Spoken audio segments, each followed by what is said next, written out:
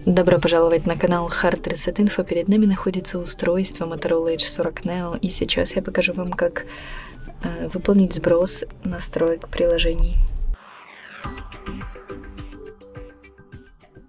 Итак, для этого мы открываем приложение настройки, после чего проходим в раздел «Система».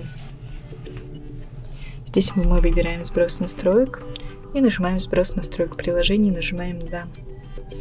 И на этом все. Спасибо за просмотр, ставьте лайки и подписывайтесь на наш канал.